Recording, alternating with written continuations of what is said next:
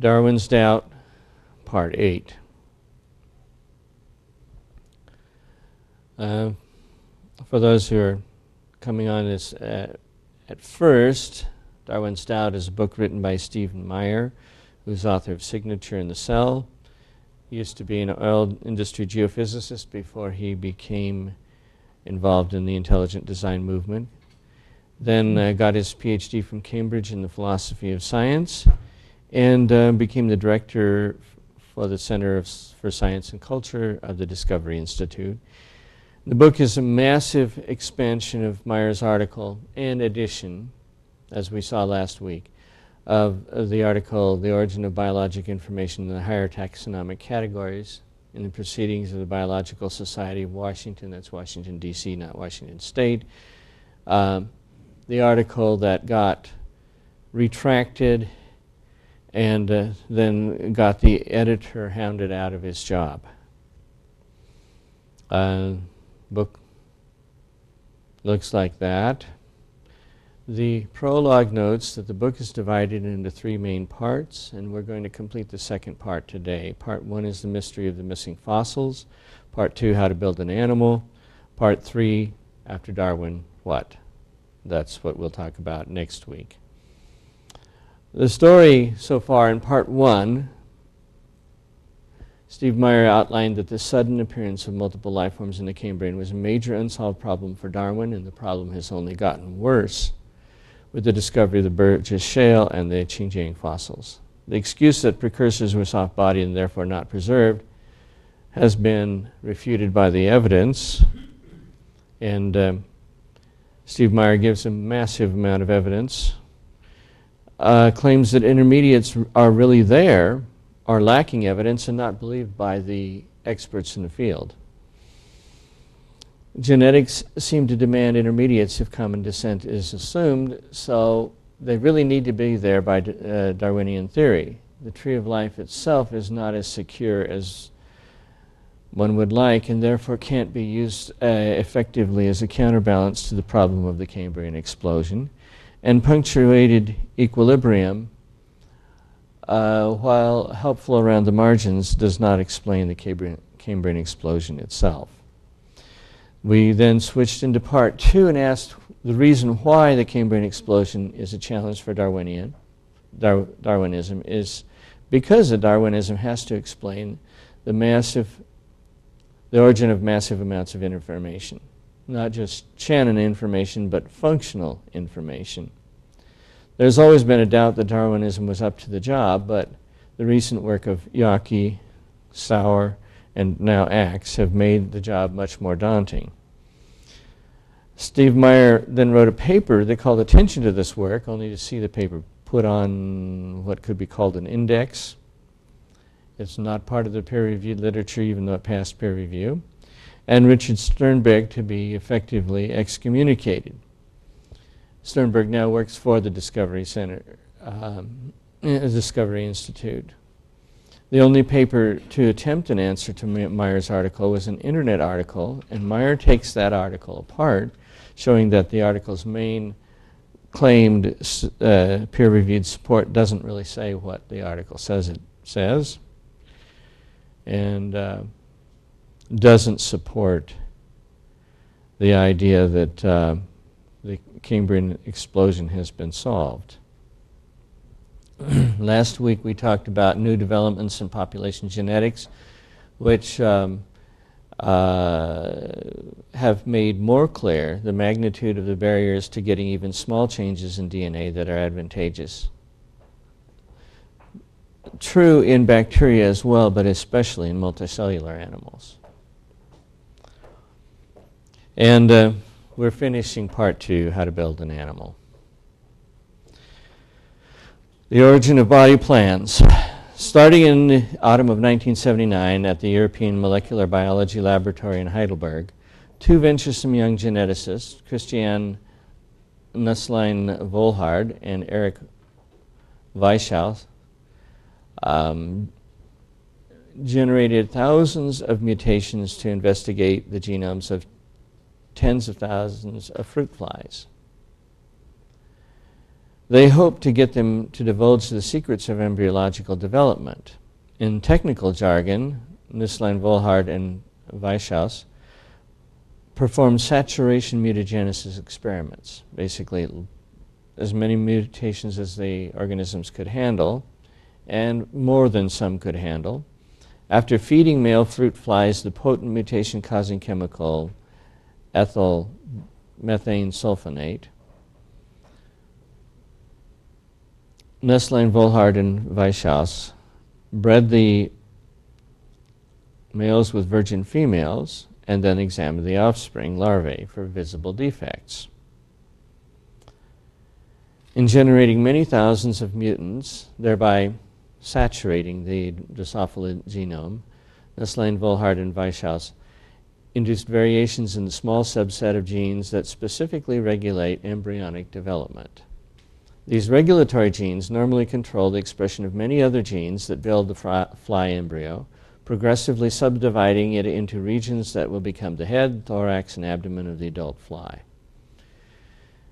The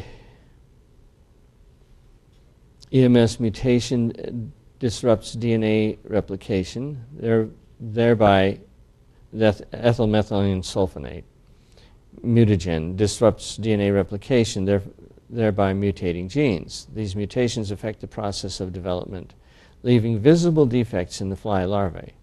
By observing the damaged larvae, Wieschaus and uh, Nusslein Volhard inferred how specific genes regulate the development of different parts of the fly body plan. The thoroughness and novelty of the Heidelberg screens, as the experiment came to be known, and their importance for revealing the mechanism of regulatory control during animal embryogenesis won the attention of the Nobel Committee in 1995 the committee awarded the Nobel Prize in Medicine or Physiology to Nusslein, Volhard, and Wieschaus. This work was revolutionary, University of Cambridge. I'm sorry, that should be Wieschaus. That's bad pronunciation. uh, this work was revolutionary, University of uh, Cambridge geneticist Daniel St. Johnston explained, because it was the first mutagenesis in any multicellular organism that attempted to find most or all of the mutations that affect the essential patterning genes that are used throughout development. That's the story as it's usually told, and it's correct as far as it goes. But the mutant fruit flies obtained by Nusslein, uh, Volhard, and Wieschaus tell another story, one less widely known, but one containing important clues for the unsolved mystery of the origin of animal body plans.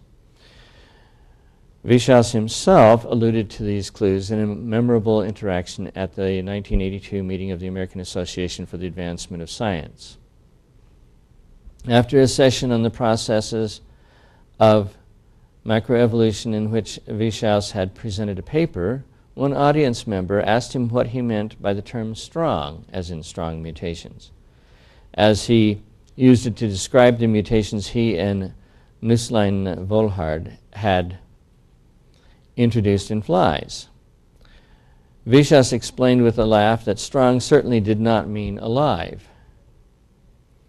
Without exception, the mutants he studied perished as deformed larvae long before achieving reproductive age. No, dead is dead, he joked, and you can't be more dead. Another questioner then asked Wieschaus about the implications of his findings for evolutionary theory. Here, Wieschaus responded more soberly, wondering aloud about whether his collection of mu mutants offered any insights into how evolutionary process could have constructed novel body plans. The problem is, we think we've hit all the genes required to specify the body plan of Drosophila, he said, and yet these results are obviously not promising as raw materials for macroevolution. The next question, then, I guess, is what are or what would be the right mutations for major evolutionary change? And we don't know the answer to that. Again, this is the Reader's Digest version, so we won't be. Um, uh, according, to, according to the last statement, there's some relevance about those things. the way the, the, the origins are in fact true by the way that they have representation. So there's evidence in it, and the evidence is congruent to what the history is. What they're suggesting, I think, is that if you're going to get a new body plan, you're going to have to mutate several things in very specific ways, uh, some ways even perhaps that add information. Um, that just randomly changing the genome uh, really doesn't help significantly. And that's, that's one of the problems we have with trying to explain this by, by use of undirected evolution is that uh, how do you hit a target that small by luck alone? Even if mutation in selection could generate fundamentally new genes and proteins, a more formidable problem remains. To build a new animal and establish its body plan, proteins need to be organized into higher level structures. The role of genes and proteins in animal development. We're going to go over that now. During development, the appropriate genes must be turned on or upregulated and turned off or downregulated to ensure the production of the correct protein products at the right time and in the right cell types. There's not just a matter of whether the protein is there in the genome, but you have to tell it when to produce it and where. Painstaking genetic research performed by Nusslein, Volhard, and Wieschaus and many other developmental biologists has uncovered many of the key embryonic regulatory design, genes that help switch cells into their differentiated adult types. This research has also uncovered a profound difficulty cutting to the very core of the neo-Darwinian view of life. Early acting body plans, mutations, and embryonic lethals. To create significant changes in the form of animals in the forms of animals requires attention to timing. Mutations in genes expressed late in development of an animal will affect relatively few cells and architectural features. Late-acting mutations, therefore, cannot cause any significant or heritable change in the form or body plan of the whole animal. You could change the color of the coat, but you can't change the, let's say, the length of the neck, um, uh, various other uh, things that, that make a difference between, let's say, one class and another class, or perhaps more importantly for the Cambrian, one whole, uh, in one case, trilobites, which you know are kind of squat, divided into three lobes, and and um, with a lot of appendages, or, or or hallucinogenia, which is skinny and and has appendages going both ways and, and does not have the shell on the outside. How do you get between those two is the question. If you, if you mutate uh, genes that are expressed late, you, you can't change the fundamental body plan. Late-acting mutations, therefore, cannot cause any significant or heritable changes in the form or body plan of the animal. As evolutionary geneticists Bernard John and George Miklos explain, macroevolutionary change requires changes in very early embryogenesis. Former Yale University evolutionary biologist Keith Thomson concurs. Only mutations expressed early in the development of organisms can produce large-scale macroevolutionary changes. Yet, from the first experiments by geneticist T.H. Morgan systematically mutating fruit flies early in the 20th century until today, developmental biology has shown that mutations affecting body plan formation expressed early in development inevitably damages the organism. As one of the founders of neo-Darwinism, uh, Darwinism, excuse me, geneticist R.A. Fisher noted, such mutations are either definitely pathological, most often lethal, in their effects, or they result in an organism that cannot survive in the wild state, which is to say, they're pathological in the environment. Normal development in any animal can be represented as an expanding network of decisions where the earliest upstream decisions have greater impact than those occurring later. Geneticist Bruce Wallace explains why early acting mutations are thus overwhelmingly likely to disrupt animal development. The extreme difficulty encountered, he observes, when attempting to transform one organism into another, still functional one lies in the difficulty I think I have somehow not gotten that completely cut properly. No, I think that's his. Uh, that's his. Uh, the extreme difficulty encountered when attempting to transform one animal into another, still functional one, lies in the difficulty in resetting a number of the many controlling switches in a manner that still allows for the individual's orderly somatic development. Nusslein, Volhard, and Wieschaus discovered this problem in um, experiments performed on fruit flies after their first Nobel Prize winning efforts. In these later experiments, they studied protein molecules that influence the organization of different types of cells early in the process of embryological development.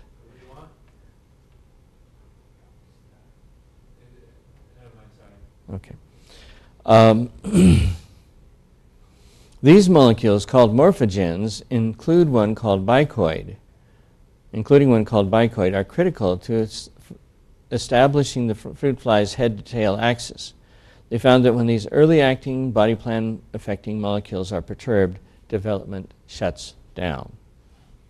When mutations occur in the gene that codes for bicoid, the resulting embryos die. As they do in all other known cases in which mutations occur early in the regulatory genes that affect body plan formation. Bicoid is something that tells you which end is the head and which end is the tail. Looking more closely at specific experimental research of this kind, results of this kind, further illuminates the problem. Mutations in the regulatory ultrabithorax gene, which is expressed midway in the development of a fly, produces an extra pair of wings on a normally two winged creature. Although an extra set of wings may sound like a useful piece of equipment, it's not at all. This innovation results in a crippled insect that cannot fly because it lacks, among other things, a musculature to support the use of its new wings. You have a four-winged fruit fly. Well, there are lots of four-winged uh, insects, for example, dragonflies, but the dragonflies have muscles on their back wings. These things, because they grow back wings but no uh, muscles on them. Um, uh, the, the back wings just sit there, and the front wings do all the work, and the back wings actually get in the way. And the interesting thing of it is, the back wings are grown instead of some structures called halters, which normally move around along with the wings and, uh, and help the fly to maintain balance. There's some fruit, uh, fruit flies with different kinds of wings that um, are mutated. The short wings that too small to fly, the curly wings, which are too weird to fly. The eyeless, which can fly but can't see, and the antennapedia, which has antennae in front uh, where its legs should be, but also doesn't reproduce. This problem has led to what Georgia Tech geneticist John F. McDonald has called a great Darwinian paradox. He notes that the genes are obviously variables within natural populations that are obviously variable within natural populations seem to affect only minor aspects of form and function. While those genes that uh, govern major changes, the very stuff of macroevolution, apparently do not vary or vary only to the detriment of the organism. As he puts it, those genetic loci that are obviously variable within natural populations do not seem to lie at the basis of many major adaptive, change, adaptive changes while those loci that are seemingly do constitute the foundation of many, if not most, major adaptive changes, are not variable within natural populations. You can change the little stuff, you can't change the big stuff. Which means, uh, if you want to put it bluntly, there's a big difference between microevolution and macroevolution, in spite of people who scream loudly that there's no difference. My Discovery Institute colleague, Paul Nelson, a philosopher of biology who specializes in evolutionary theory and developmental biology, summarizes the challenge to neo-Darwinian, neo-Darwinism posed by animal development as three premises. Number one, animal body plans are built in each generation by a stepwise process, from the fertilized egg to the many cells of the adult. The earliest stages in this process determine what follows. Thus, to evolve any body plan, mutations expressed early in the development must occur, must be viable, and must be stably transmitted to offspring. If they don't occur, they can't be transmitted. If they're not viable, they can't be transmitted. And they have to be stably transmitted, otherwise, they're not transmitted either. However, three such early acting mutations of global effect on animal development uh, are the least likely to be tolerated by the embryo. And in fact, never have been tolerated in any animals that developmental biologists have studied. Now, that doesn't prove it couldn't possibly happen, but if it's never happened, it, certainly the assumption would be that it's not likely to happen in the future. Nelson came to appreciate the depth of the problem posed by these facts after many years of discussion with two members of his University of Chicago PhD committee evolutionary biologist Leigh Van Valen, who's now dead, and evolutionary theorist and philosopher of biology William Wimsatt. Van Valen, famous for his Red Queen hypothesis about the need for organisms to continue to evolve in order to maintain fitness, was, a passionately, was passionately interested in the mechanisms of microevolution. Wimsatt originated the theory of gen- generative entrenchment, an account of the causal asymmetries at work in complex systems, including those responsible for animal development. Things get in a rut, I guess, is kind of a short version of that. Both acknowledged to Nelson that the scientific literature offers no examples of viable mutations affecting early animal development and body plan formation, and also that the macroevolution of novel animal forms requires just such early acting mutations. They don't happen, but they need to happen. And they need to happen in the Cambrian to be specific. Nevertheless, both Van Valen and Wimsatt remain committed to the descent of animal forms from a common ancestor via some kind of undirected mutations. Nelson, as he's told me, if the only kind of mutations that can conceivably produce enough morphological change to alter whole body plans never causes beneficial inheritable changes, then it is difficult to see how mutation and selection could ever produce new body plans in the first place.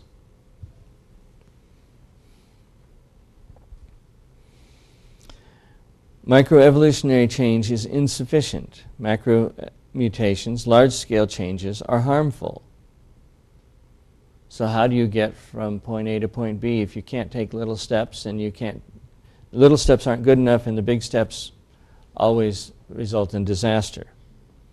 This paradox has beset Darwinism from its inception, but discoveries about the genetic regulation of development in animals have made this paradox more acute and cast serious doubt on the efficacy of the modern neo-Darwinian mechanism as an explanation for the new body plans that arise in the Cambrian period. Developmental gene regulatory networks. This is multiple genes that work together. Another line of research in developmental biology has revealed a related challenge to the creative power of the neo-Darwinian mechanism.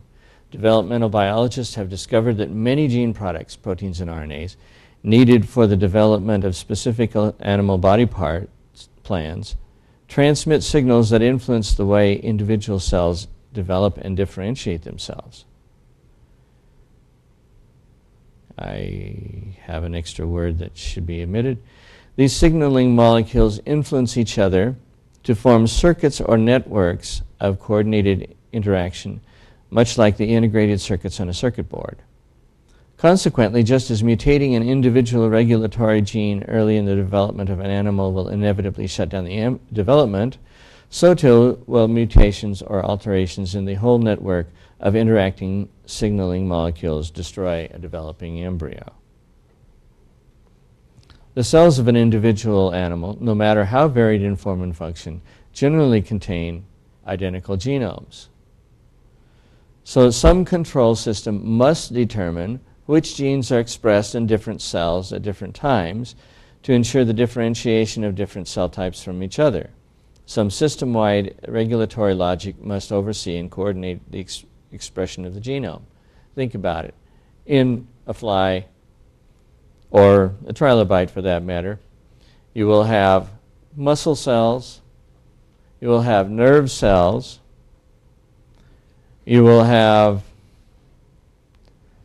um, digestive cells, all of which are producing different kinds of proteins, secreting them in different ways, or perhaps using them inside the, the cell in different ways, all from the same set of instructions. So you have to have something to say to the muscle cell don't make nerve cell proteins, and don't make digestive proteins. But in, to say to the digestive protein, uh, digestive cell, make digestive proteins and secrete them on one side of you. So there's got to be some kind of control that tells them when to use which stretches of DNA.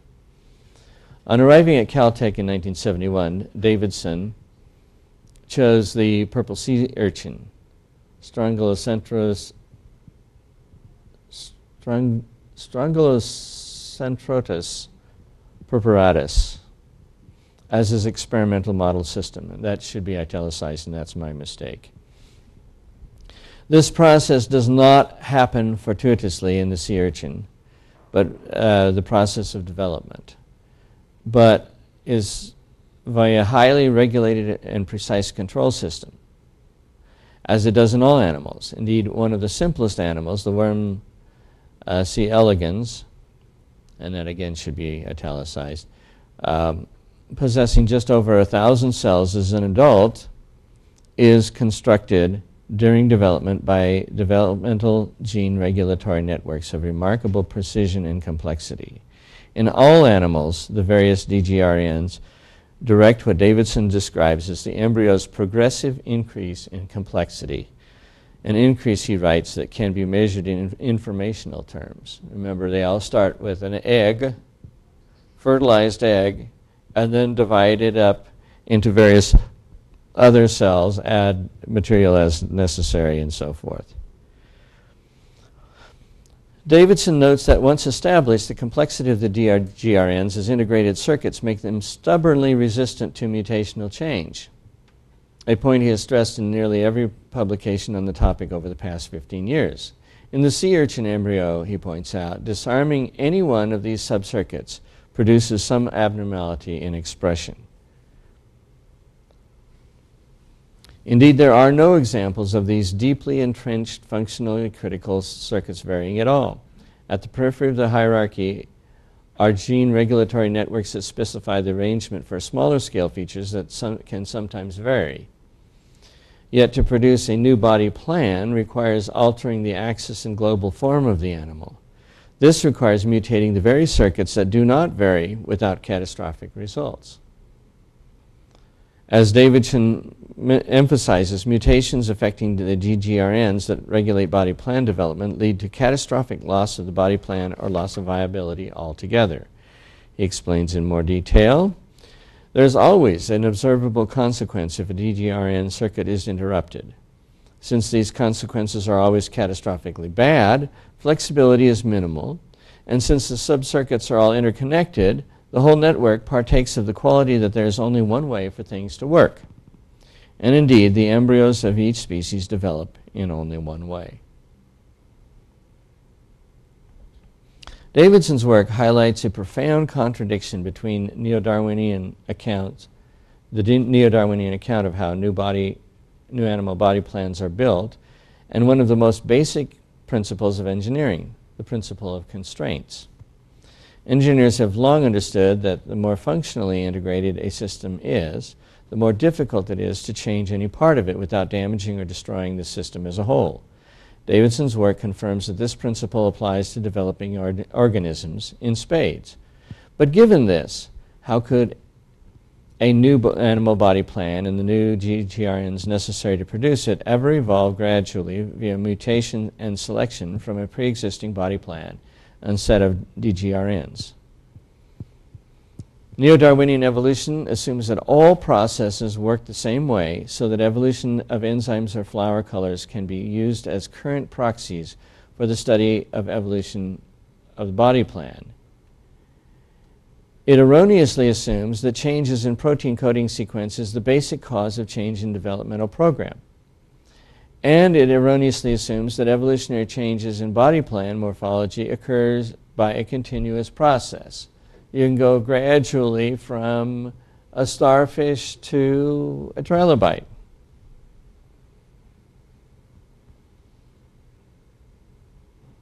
With each intermediate being viable. All these assumptions are basically counterfactual. That is to say, they're wrong.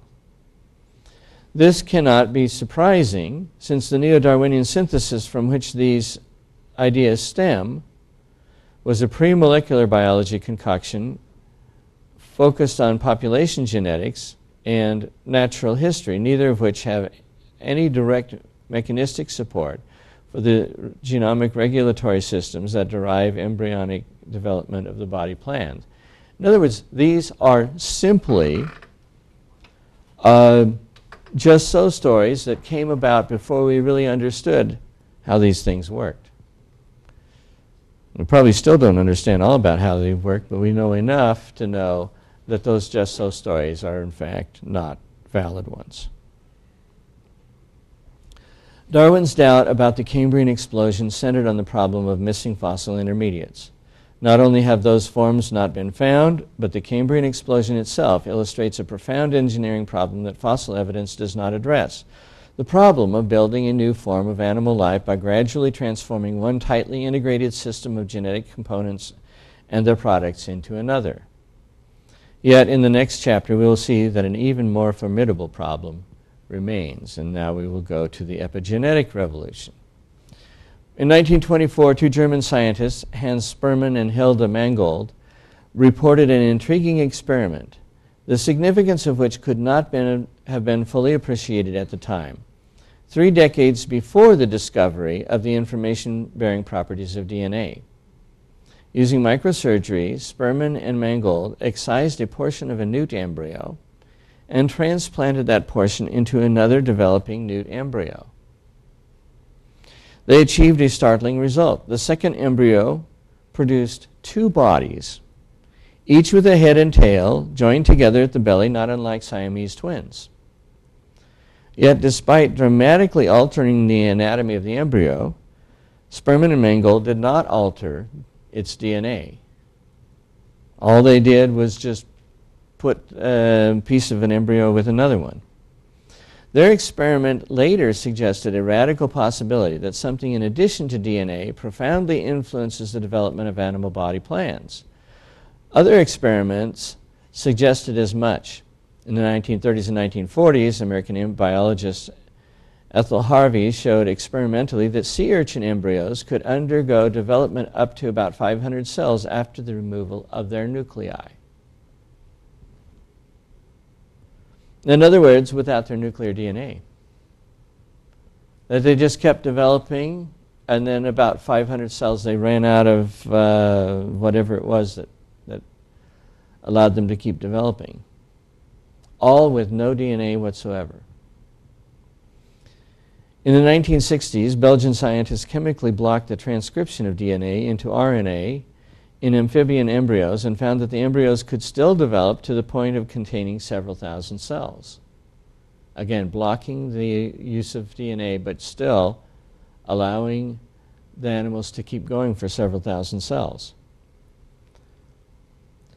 In the 1970s, Canadian biologists showed that a frog embryo could undergo early development without its nucleus if the cell division apparatus from a sea urchin was injected into the frog. Apparently, the centriole was necessary, and if you took the nucleus in the centriole, you're, you're hung. But as long as you had the centriole, it could keep on developing for a while. How do they do that without DNA? None of these results indicate that embryos can develop fully without DNA. In every case, DNA was eventually necessary to complete embryological development.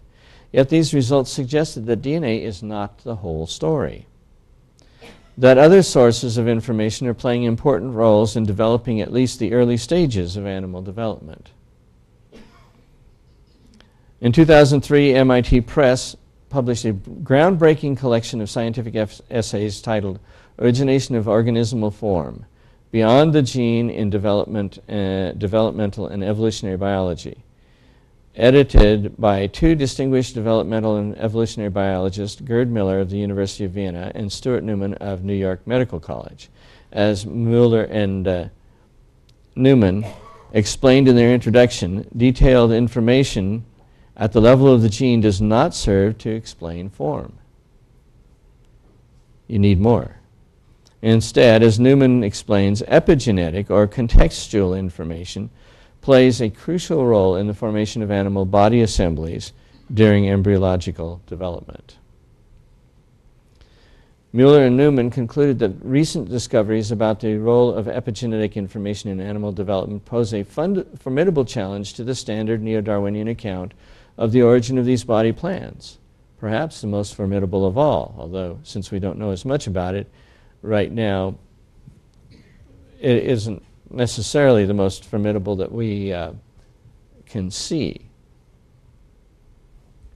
In the introductory essay to their volume, Mueller and Newman list a number of open questions in evolutionary biology, including the question of the origin of Cambrian era animal body plans and the origin of organismal form generally, the latter being the central topic of their book.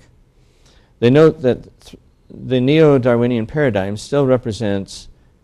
Uh, still represents the central explanatory fa- framework of evolution, that although it does, it has no theory of the generative. As they and others in their volume maintain, Neo Darwinism lacks an explanation for the origin of organismal form precisely because it cannot explain the origin of epigenetic information. Jonathan Wells, there's a section on him that talks about how he introduced Steve um, Meyer to this uh, subject to see why the epigenetic information poses an additional challenge to neo Darwinism and to see exactly what biologists mean by epigenetic information, let's examine the relationship between biological form and biological information. And we're going to try to go over that. We're going to talk about, of course, DNA has information in it, um, but similarly, animal body plans represent not only highly improbable but also highly specific arrangements of matter. Organismal form and function depends on the precise arrangement of various constituents as they arise during or contribute to embryological development. Thus, the specific arrangement of the other building blocks of biological form, cells, clusters of similar cell types, the GRNs, tissues, and organs, also represents a kind of specified or functional information. Perhaps because the information carrying capacity of the gene can be so easily measured, Biologists have often treated DNA, RNA, and proteins as the sole repositories of biological information. Neo Darwinists have assumed that mutations in genes will suffice to generate the new information necessary to build the new form of animal life. Yet, if biologists understand organismal form as resulting from constraints on the possible arrangements of matter at many levels in biological hierarchy, from genes to proteins, from to cell types and tissues to organs and body plans, then biological organisms may well exhibit many levels of information rich structure. Discoveries in developmental biology have confirmed this possibility. Since the 1980s, developmental and cell biologists such as Brian Goodwin, Wallace Arthur, Stuart Newman, Fred, I guess that's Nijhout, uh, and Harold Franklin have discovered or analyzed many sources of epigenetic information. Even molecular bio- biologists such as Sydney Brenner, who pioneered the idea that genetic programs develop animal development, now insist that the information needed to code for complex biological systems vastly outstrips the information in DNA. Two analogies may clarify the point. At a construction site, builders will make use of many materials lumber, wires, nails, drywall, piping, and windows. Yet, building materials do not determine the floor plan of the house or the arrangement of houses in a neighborhood. Similarly, electric, electronic circuits are composed of many components, such as resistors, capacitors, and transistors. But such lower level components do not determine their own arrangement in an integrated circuit. And uh, there's an example where you have an electrical component which is itself very complex that's put onto a circuit board with several other electronic components, which is then put into a computer with several other uh, uh, components integrated into it. And so you have single component assembly instructions, but you also have higher level assembly instructions. Now, some examples of epigenetic information. Cytoskeletal arrays. Eukaryotic cells have internal skeletons to give them shape and stability. All of the Cambrian explosion is eukaryotic cells. These cytoskeletons are made of several different kinds of filaments, including those called microtubules. Just to pay attention to the microtubules themselves, the structure and location of those microtubules in the cytoskeleton influence the patterning and development of the embryos. Things are transported along the microtubules, for example. Microtubule arrays within embryonic cells help to distribute essential proteins used during the development used during development to specific locations in these cells. So the microtubules are uh, you could think of them as highways if you wanted to or roads. Another cell structure influences the arrangement of the microtubule arrays and thus the precise structures they form and the functions they perform. In an animal cell, that structure is called the centrosome, literally, central body. Soma is body in Greek. a microscopic organelle that sits next to the nucleus between cell divisions in an undividing cell. Emanating from the centrosome is the microtubule array that gives a cell its three dimensional shape and provides internal tracks for the di- directed transport of organelles and essential molecules to and from the nucleus. During cell division, the centrosome duplicates itself. The two centrosomes form the poles of the cell division apparatus, and each daughter cell inherits one of the centrosomes. Yet the centrosome contains no DNA. Those centrosomes are made of proteins, gene products. The centrosome structure is not determined by genes alone. And for example, if you take out a centrosome, the body will not form another, or the cell will not form another one. It needs one centrosome to be able to divide to make two of them.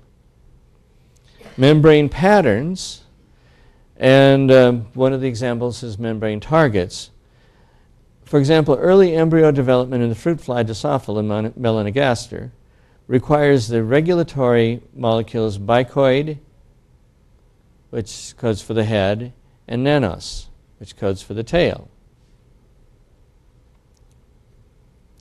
In the early stages of embryological development, nurse cells pump bicoid and nanos RNAs into the egg.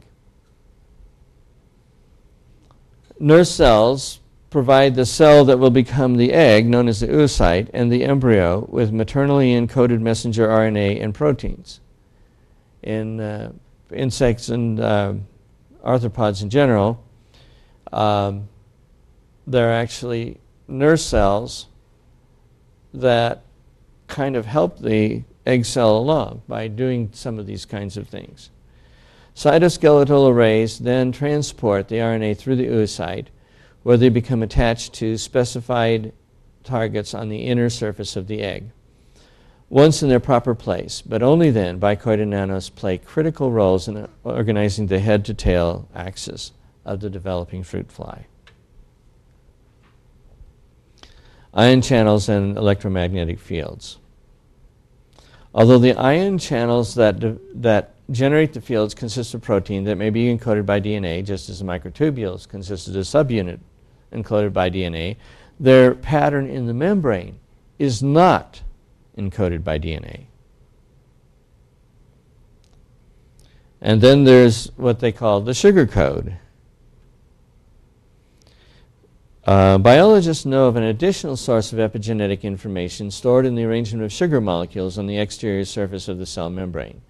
Sugars can be attached to the lipid molecules that make up the membrane itself, in which case they're called glycolipids, or they can be attached to proteins embedded in the membrane, in which case they're called glycoproteins.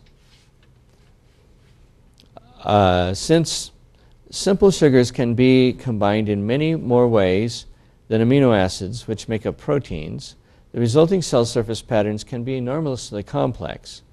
As biologist Ron Schnaar explains, each sugar molecule, each sugar building block can assume several different positions.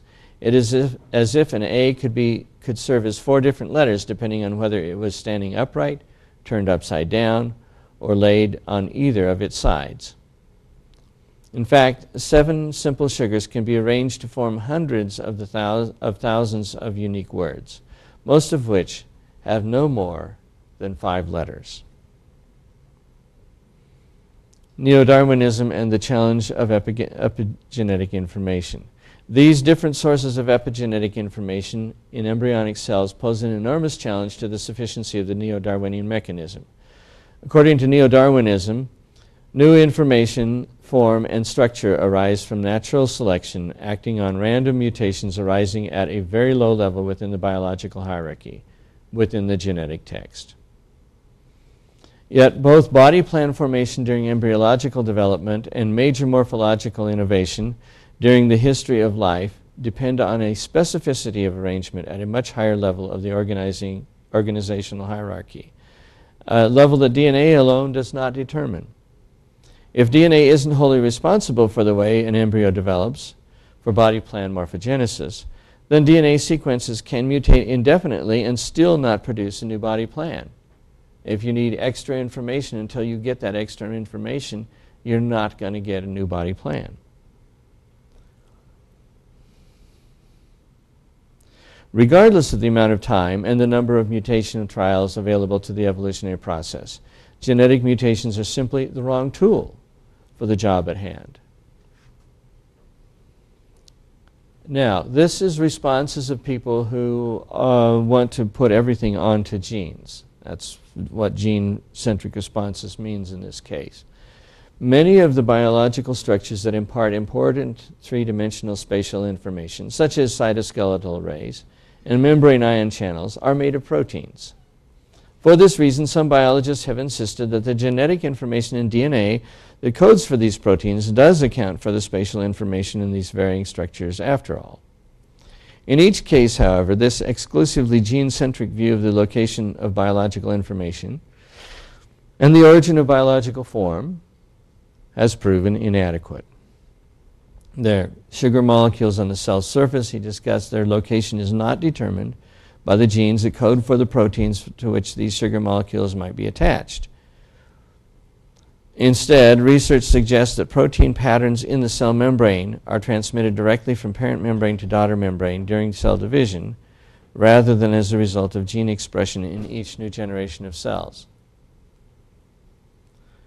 And then there are the membrane targets, the sodium potassium ion pumps, microtubules, and the centrosome. And the centrioles that compose the centrosomes replicate independently of DNA replication. Daughter centrioles receive their form from the overall structure of the mother centriole, not from the individual gene products that constitute them. Exactly how that works is not clear, but that it works is clear. Additional evidence of this kind comes from ciliates, large single-celled eukaryotic organisms. Biologists have shown that microsurgery on the cell membrane of ciliates can produce heritable changes in membrane patterns without altering the DNA. This suggests that membrane patterns, as opposed to membrane constituents, are impressed directly on the daughter cells. In both cases, in membrane patterns and centrosomes, Form is transmitted from the parent three-dimensional structure to daughter three-dimensional structure directly. It is not entirely contained in DNA sequences or the proteins for which these sequences code. Epigenetic mutations, well, uh, as Steve Myers says, when I explain in public this in, in public talks, I can count on getting the same question. Someone in the audience will ask whether mutations could alter the structures in which epigenetic information resides.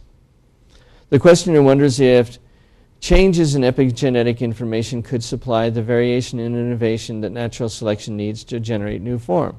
In much the same way that neo-Darwinists envision genetic mutations doing so. In other words, couldn't you have mutations in the epigenetic code just like you have in the, uh, in the genetic code? It's a reasonable thing to ask, but it turns out that mutating epigenetic information doesn't offer a realistic way of generating new forms of life. To the extent that cell structures can be altered, these alterations are overwhelmingly likely to have harmful or catastrophic consequences, just like the uh, mutations of early expressed DNA does. The original Spemann and Mangold experiment did, of course, involve forcibly altering an important repository, repository of epigenetic information in a developing embryo. Yet the resulting embryo, though interesting and illustrative of the importance of the epigenetic information, this is our two-headed salamander, or two-bodied salamander, so to speak, uh, did not stand a chance of surviving in the wild, let alone reproducing. It can't crawl on its own. Without that, it's going to starve to death.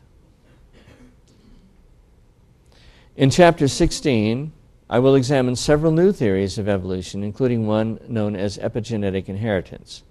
We'll see that there are some additional difficulties associated with the idea that mutations in epigenetic structures can produce significant evolutionary innovation. Contemporary critics of neo-Darwinism acknowledge, of course, that pre-existing forms of life can diversify under the twin influences of natural selection and genetic mutation. Known microevolutionary processes can account for small changes in the coloring of peppered moths, the acquisition of antibiotic resistance in different strains of bacteria, and cyclical variations in the size of uh, Galapagos finch beaks. Nevertheless, many biologists now argue that neo-Darwinian theory does not provide an adequate explanation for the origin of new body plans or events such as the Cambrian explosion. For example, evolutionary biologist Keith Stewart of Thomson, formerly of Yale University, has expressed doubt that large-scale morphological change could accumulate by minor changes at the genetic level.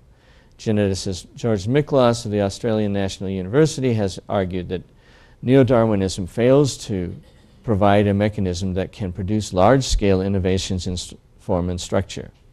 Biologists Scott Gilbert, John Opitz, and Rudolf Raff have attempted to develop a new theory of evolution to supplement classical neo-Darwinism, which they argue cannot adequately explain large-scale macroevolutionary changes. As they note, Starting in the 1970s, many biologists began questioning its, that is, neo-Darwinism's, adequacy in explaining evolution. Genetics might be adequate for explaining macroevolution, but microevolutionary changes in gene, gene frequency were not seen as able to turn a reptile into a mammal or to convert a fish into an amphibian. Microevolution looks at adaptations that concern the survival of the fittest, not the arrival of the fittest. As Goodwin 1995, points out the origin of species, Darwin's problem, remains unsolved. And notice this is a, an evolutionist that's saying this. Gilbert and his colleagues have tried to solve the problem of the origin of form by invoking mutations in genes called Hox genes, which regulate the, develop, uh, the expression of other genes involved in animal development, an approach that I will examine in Chapter 16, which is our next chapter. Notwithstanding, many leading biologists and oh, I, I'm, I'm sorry, I misstated. It's not our next chapter.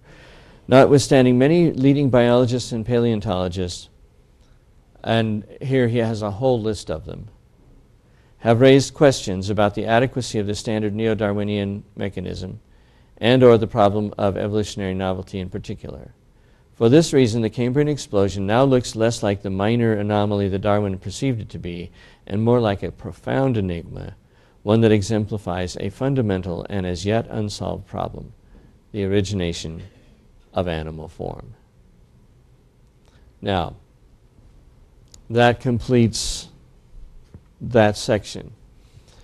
Uh, as I read the chapter, my, my own personal take is that changes in the core genes of multiple organisms are almost uniformly fatal. I think he makes that point pretty clear.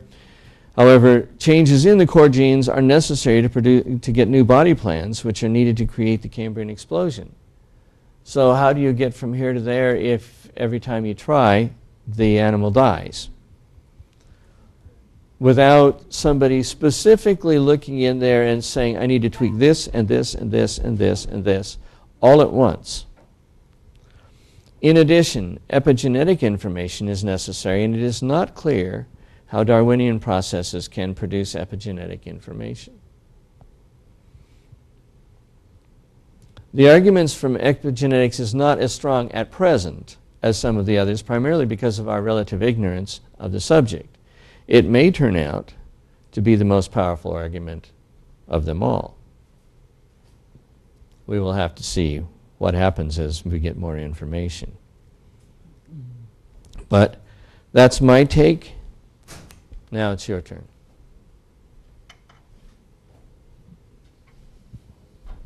I have some wonders.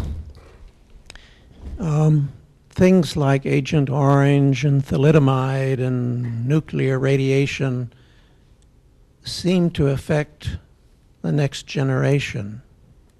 Does it stop there, or does it peter out, or do, how, how do those things change? We don't fully understand all of it. Uh, for thalidomide in particular, it probably doesn't affect the next generation. That is to say, phocomelia, as far as I know, uh, that is not inherited, which means that that's, a, if you want to put it that way, that's an epigenetic change that has, uh, um, well, let's, I, I, think it's fair to say devastating results for the individual in question. You know, somebody who's born with no arms little bitty feet stuck to his body. Uh, that's not where I want to where I'd want to go. But uh, it apparently does that all by epigenetic mechanisms. It does not uh, involve the DNA proper. Um, so if that person has kids, they're likely to be normal.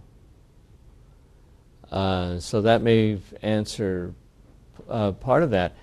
There's a lot of stuff that we really don't understand exactly how this works. Uh, here and then there. Yeah, I'm just wondering. Uh, are we clear that you know there are some proteins formed by RNA combinations and so on that aren't dictated by the DNA? Are we clear that um, this epigenetic uh, realm is not uh, influenced by RNA or even, uh, might say, uh, a complex arrangement that, which we don't understand yet through RNA. Well, yes, as a matter of fact, I, there's a lot of it that we don't really understand. You know, junk DNA got its name because nobody really understood what was doing. And one assumption was it wasn't doing anything, that it was just leftover from uh, the leftover evolutionary garbage that the cells sometimes sorted through and found a new enzyme in, particularly if it had been mutated for a while. But the fact of the matter is that, you know, now we know it's all, most of it, if not all of it, is transcribed. Does that transcription go in particular places to influence where, let's say, uh, the sodium channels are? Maybe. And the fact of the matter is, we really don't know. Um, the the one caution of making it uh, making it too DNA centric is that you know if you can take a, an embryo and take the nucleus clear out of it and have it develop for 500 um, uh, cell divisions, then clearly there's a lot of stuff in there that's either encoded elsewhere or on auto- autopilot. Maybe some of both. And the fact of the matter is, we are like a kid looking at a radio and trying to figure out what makes it work. And as a uh, as a neurologist who, if I remember right, had just won the Nobel Prize, uh, told us in medical school, we are kind of like the you look at this and you pull out the a transistor and the thing suddenly goes hmm, and we're saying, aha, we have found the anti-hum transistor. And that's about where our knowledge is on some of these things. We've done a really nice job of doing DNA coding. But, uh, for example, there's a lot of those orphan genes. We have no clue as to what they do, or what they used to do, or whether they do anything. And of course, it's tempting to say, well, if we don't know about it, it didn't happen. But that's a. Um, that's a rather prideful way of looking at it, and I think pride goes before a fall in that particular case. Pass the mic up.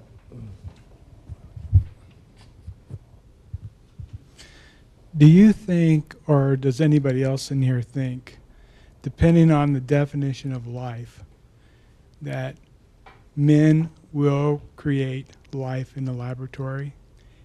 There's, the reason why I ask is there's two things going for it. One is that it seems like God isn't holding back any knowledge about the cell from us. Every time we look in it, we seem to find what, you know, information. And the second part is we are designers.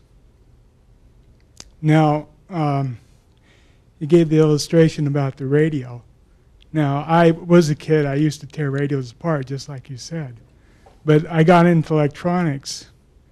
I can build a radio now. I know exactly how they work. And, um, and that goes on even beyond us. Let's say that there's an angel that may have lived for thousands or a billion years. How far could he get if he was looking into this stuff? How much would he be able to do? I'm not sure I know the answer to that. Um, you know, Ellen White makes some comments that kind of suggest that um, um, that we're not going to make life. Well, yeah, that's that's the question Uh, too. What certainly, the what's the in her day, definition? we, we didn't have the knowledge to be able to do that. yeah, But- Um, but the I think that in our day, we still don't have the knowledge to be able to do that because we have no clue as to where all those microtubules need to be hooked up to. Well, that's what I was saying are. about the the definition of life. Yeah. Um, how, Well, you know, how far do you, you got sentient life, which that's Yeah. way out there, you know, somewhere. But, but is there a way that uh, the small definition of life that we can come up with some sort of little tiny model that will actually, Grow and whatever. yeah, do the closest we've gotten is we have created DNA de novo, well, with the help of yeast molecules or yeast uh, cells, but essentially de novo. And been able to put it into a cell of one particular bacterium and change the bacterium into another bacterium and more importantly have the thing divide and and and grow. Um, so we at least have the technology to to, to change DNA now the but we still we took a whole cell we plucked out the DNA we put the new DNA in that's a whole that's a whole lot easier than building a new cell from scratch and we're not there yet. I suppose it may depend on whether how long God leaves us on this earth, whether we can get that far or not. I don't know. We're not there yet, I don't think. No,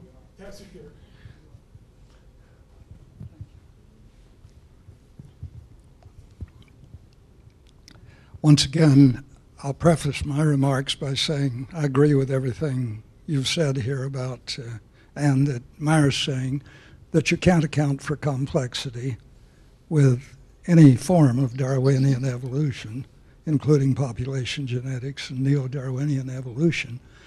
And this introduction of epigenetics does introduce a whole level, uh, uh, explanatory level of paradigms that go beyond Darwinism. However, they're still internal to the developing organism, pretty much. Uh, all these epigenetic modalities, the one specific ones you illustrated, and your suggestion at the end that there may be larger and more significant ones that we haven't discovered yet. And, and last week in my remarks, I commented on the possibility that functioning structures can have causal interrelationships among their functions that interact in such a way as to increase differentiation and to increase levels of integrated complexity without changing the underlying structures that produce those functions. In other words, we're here talking not about function uh, uh, about causal relationships among the structures, but causal relationships among their effects. And uh, that essentially uh, opens the field up beyond the organism then and argues that if you're dealing with dynamic equilibria, such as a living system, not a closed system that operates according to the second law of thermodynamics, but an open system that is subject to outside forces, then you have almost unlimited possibilities of generating new information, new levels of complexity and functioning without any fundamental change in the underlying structures at all, or only very minor changes such as micro mutations. And of course, one biologist you didn't mention, I've mentioned him before, who argues this is Rupert Sheldrake at uh, Cambridge University in England, who argues that there are morphic fields that govern all living things. But there's even the possibility that beyond such morphic fields, there are more general formative fields that operate in the universe as a whole. And I think this is what we're talking about when we talk about intelligent design. And uh, for instance, uh, let's turn from living things to non living things. Let's talk about uh, cosmology for a minute. You start, presumably, so it's argued, after the Big Bang with a quantum soup. And over billions of years, this coalesces into cluster, superclusters of galaxies, uh, s- clusters of galaxies, galaxies that contain 100, uh, in our case, Milky Way, probably 100 million solar uh, stars. And some of which are in the center, some of which are in Yeah. arms, some of which are And the most arms. recent data from uh, uh, Kepler, which is now shut down, suggests that uh, there may be as many as 300 million planets, I mean 300 billion planets in our own uh, Milky Way galaxy, and possibly 100 billion galaxies in our own observable universe. And uh, these individual solar systems, such as our own, they're developed, have so much information in them now from that original quantum soup that, uh, for instance, you have things like Kepler's third law, that uh, when you look at a solar system such as ours, the planets in it are so interacting with the sun and with one another that uh, using the inverse law of gravitation and Newton's laws, you get a situation where the square of the orbital time of each planet is proportionally constantly related to the cube of its mean distance from the sun.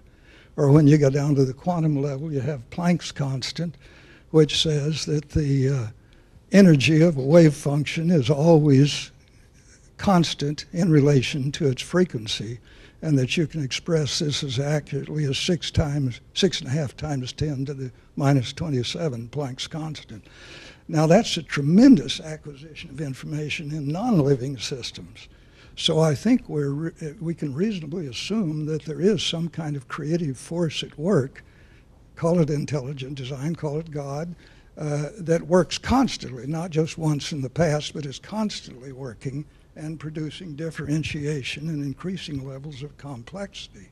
And in this sense, living creatures would not be the only source of generating novelty, they'd be just the opposite. They'd be a limiting factor on this force that operates only through the medium of genes and proteins. But the, but the force itself that leads to complexity and higher levels of integration is working everywhere all the time, in the non living as well as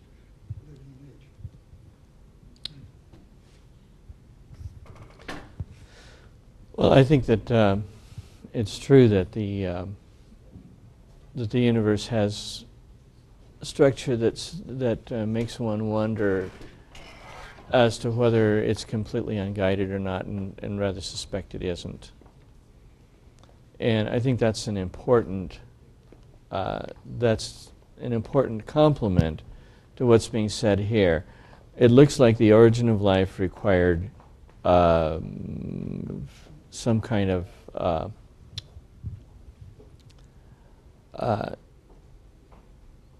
some kind of intelligent design. It looks like now the Cambrian explosion required, if not intelligent design, certainly some kind of organization that's beyond standard Darwinian theory. Um, whether it requires intelligent design or, or strongly suggests intelligent design is the subject of the next part of the book. Um, and then it looks like the structure of the universe itself requires some kind of intelligent design as well. Uh, raising the question of, you know, are these different intelligent designers? Is the same one? Uh, and I, I think that's where, you know, the next phase really needs to go once you assume that signature in the cell is correct, and then once you assume that Darwin's doubt is correct, and then perhaps once you assume that privileged planet is correct, where do you go on from there in terms of uh, what kind of what kind of what kind of attributes can you attribute to this designer that might be helpful for us to understand? Or perhaps in some cases to these designers.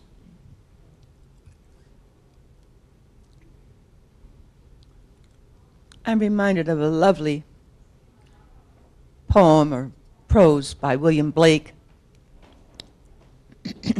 who was a mystic, and very, very lovely, and I think it's quite apropos. To see the world in a grain of sand heaven in a wildflower, to hold infinity in the palm of your hand and eternity in an hour. So, we're told, I know what E.G. White said.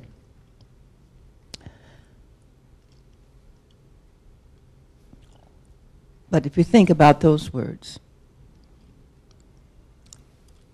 and then a little flower in the crannied wall, why don't you you got that? A little flower in the created wall. Well, that's Wordsworth. He says practically the same thing you mm-hmm. probably recall. Little flower in the crannied wall, I pluck you out of the crannies. I hold you in my hand, root and all. And if I could but understand what you are, root and all, and all in all, I would know what is both God and man. The idea that the whole universe is so integrated and differentiated and nested hierarchically that any one thing is like a hologram, in some sense contains the whole.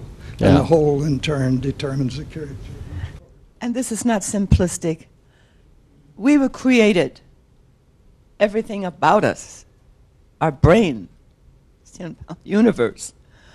This, we're getting down the semantics. Let's forget.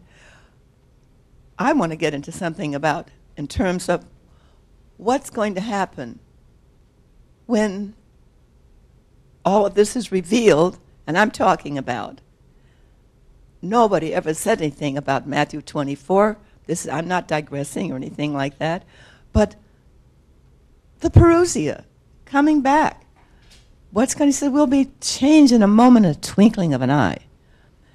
And so we're sitting here, he's given us this brain. We don't have to be bogged down in 19th century Wesleyan. We're moving on. It's going forward. It's a, it's a work in progress. And this is what the maker wants. If someone gets insecure about it, let's get unseated and move on. so I don't want to get prosaic about it.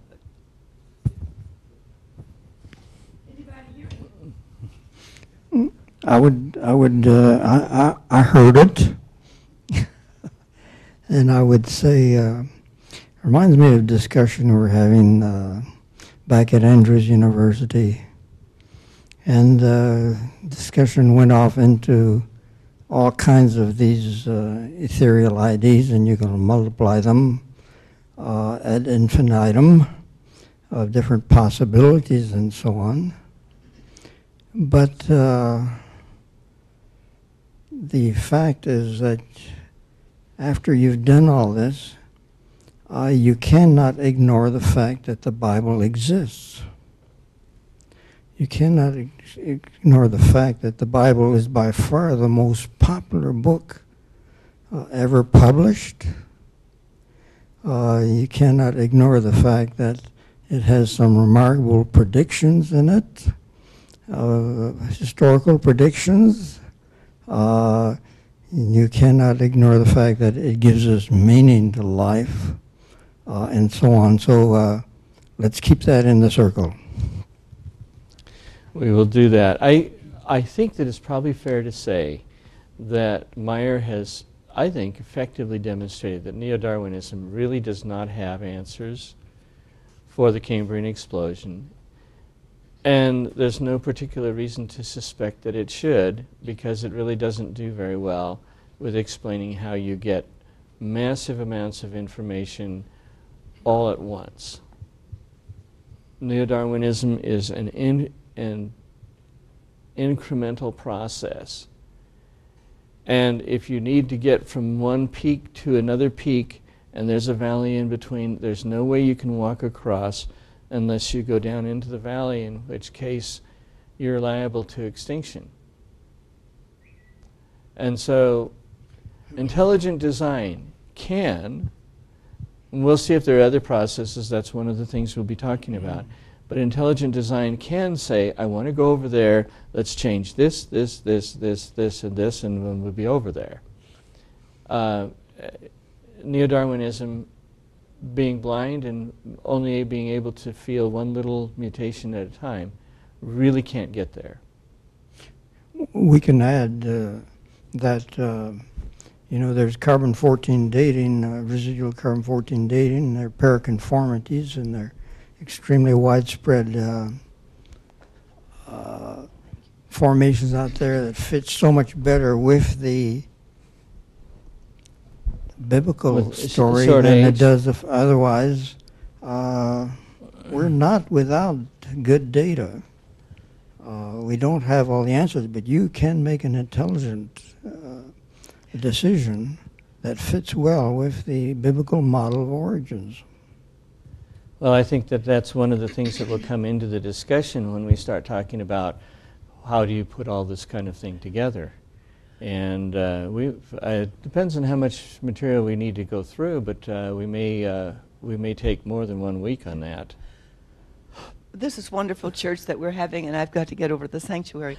and I really agree with the brother here. Anything and everything that we're to know is in that book in the Bible. But did we ever stop to think that there are so many things that are there that we don't didn't understand until the space age, until now. And anything, it's a matter of interpretation, and we don't want to go, as he said, ad item uh, and ad nausea here and talk about all the different interpretations. Uh, uh, uh, We'll have that chance later. thank you. Wonderful. We will. Have a blessed Sabbath. We're enjoying so much.